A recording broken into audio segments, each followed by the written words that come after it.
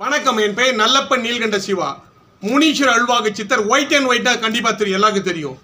அனைத்து தொலைக்காட்சியிலையும் பார்த்துருப்பீங்க. நீதிமான் என்ற பத்திரிகை மூலிமா நான் பேட்டி கொடுத்துருக்கேன் பாருங்க. ரெண்டாயிரத்தி பதினொன்றில் அதிமுக தான் வெற்றி பெறும். நல்லா உன்னிப்பாக வரீங்க ரெண்டாயிரத்தி பதினொன்னில் அதிமுக தான் வெற்றி பெறும்னு சொன்னேன். அதே மாதிரி வந்தது. ரெண்டாயிரத்தி பதினாறுலையும் அதிமுக தான் வெற்றி பெறும்னு சொன்னேன். ரெண்டாயிரத்தி பதினாறுலையும் தேர்தல்லையும். அதுக்கப்புறமா அஷ்டம சனியால புரட்சி தலைவி ஜெயலலிதா மரணம் அடைவான்னு சொன்னேன். அதே மாதிரி புரட்சி தலைவர்கள் ரெண்டாயிரத்தி பதினாறுக்கு மேல மரணம் அடைஞ்சிட்டாங்க.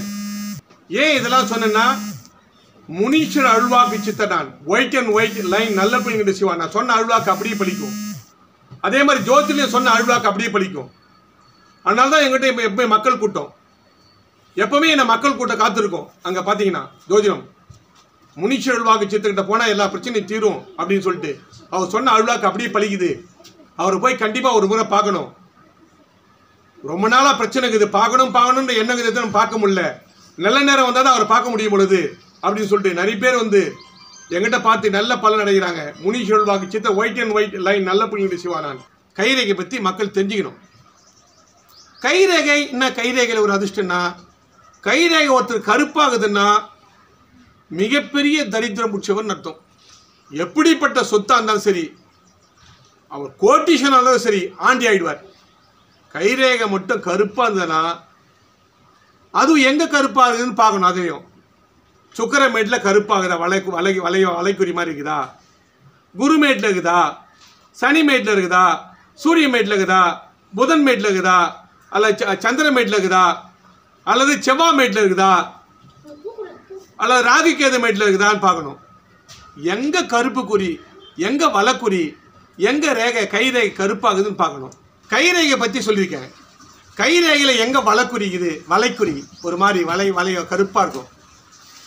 அந்த வலைக்குறி எங்கே இருக்குதோ அங்கே அந்த பிரச்சனை ஏற்படும். அதுதான் முக்கியமானது இதுதான் அதுதான் எங்கள் ஜோசியரை பார்த்து வலைக்குறி உள்ள எந்த குரு மேட்டில் இருக்குதா சனி மேட்டில் இருக்குதா? நல்லா சனி மேட்டில் இருக்குதா? ராகு கேடில் ராகு கேது மேட்டில் இருக்குதா? புதன் மேட்டில் இருக்குதா? குரு மேட்டில் இருக்குதா? சுக்கர மேட்டில் இருக்குதா? சூரிய மேட்டில் இருக்குதா? சந்திர மேட்டில் இருக்குதா? செவ்வாய் மேட்டில் இருக்குதா? என்பதை பார்த்து அதுக்கேற்ற மாதிரி நம்ம பூஜை பண்ணி புரஸ்காரங்கள் பரிகாரங்கள் செய்தோம்னா அந்த பிரச்சனையிலேருந்து நம்ம விடுபடலாம். நிறைய பேர் பார்க்கணும்னா திருமண தடை புத்திர தோஷம் குடும்ப நிம்மதி இல்லை கணவன் மணி கருத்து வேறுபாடு வ- செல்வாக்கு இல்லை தொழிலில் நஷ்டம் சொத்து பத்து பிரச்சனை குடும்ப சொத்து வாங்க நினைச்சாலும் பிரச்சனை சொத்து வாங்கினா வில்லங்கம் தீராமல் இருக்கும் சொத்து விற்க முடியாது வாங்கின கண்ணை கொடுக்க முடியாது வட்டி கட்ட முடியாது நகை நட்ட மூட்ட முடியாது. ஃபைனான்ஸில் பிரச்சனை ஃபைனான்ஸ் ப்ராப்ளம் ரியல் எஸ்டேட்டில் கூடி வரும்பொழுது கட் ஆகிடும் இடம் விற்க முடியாது. இது போன்று எக்கச்சக்கமான பிரச்சனைகள். இதுக்கெல்லாம் காரணம் பாருங்க. அவங்க கிட்டலாம் வந்து போனால் கை ரேகையில் வளக்குறி இருக்கும் இவங்க இவங்க பிரச்சனை உள்ளவங்க கை ரேகை கண்டிப்பாக வளக்குறி இருக்கும் இல்லை கருப்பு ரேகையாக இருக்கும். இருதய ரேகை கருப்பாக இருக்கும். தொழில் ரேகை கருப்பாக இருக்கும். சுக்கர ரேகை கருப்பாக இருக்கும். செவ்வாய் ரேகை கருப்பாக இருக்கும். கையை கையை கருத்து இருக்கும் ஒரு சிலருக்கு. ஒரு சிலர் கை வெளுத்துருக்கும். ஒரு சிலர் ஒரு சிலர் கை செவந்திருக்கும். சகப்பாக்கிறவங்களுக்கு கோட்டீஸ்வர யோகம். வெள்ளையாக்காரங்க நடுத்தரமான யோகம். கருப்பாக்கிறவங்க தத்திர யோகம். மூணா பிரிச்சுக்கலாம் யோகத்தை. எப்படி பிரிச்சுக்கலாம்? கணத்துல குழி வரவங்க எப்படி இருப்பாங்க? சாமுத்து நிச்சய ரீதியா ஒரு முகத்தை பார்த்து கை ரேகை பார்த்து துல்லியமா சொல்றேன். இதான் மிக மிக முக்கியமானது இதுதான்.